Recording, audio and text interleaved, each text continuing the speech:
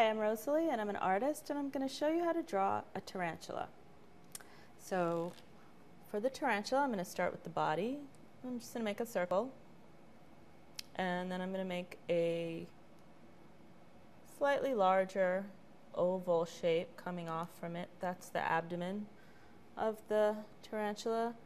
And then the head is kind of like two points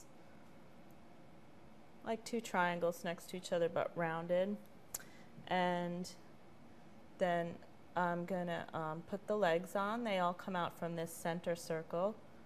And so I'm going to bend it a little bit. That's the first leg. I do the same thing on the other side. And then the second leg is a little bit bigger. So I do the same thing but angle it out more. And I do the same thing on the other side. And then the third set of legs. And then the fourth set is smaller again, sort of like the first one. And you want to sort of spread them out like that.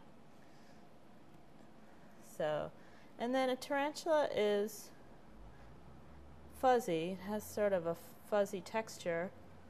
So you could add sort of a little bit of like a furry texture by making little lines on it. But, um, and I would actually even thicken the legs a little because a tarantula does, is a pretty thick and substantial type of spider.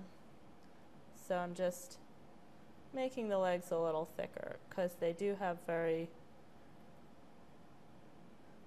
thick legs and a fuzzy texture. So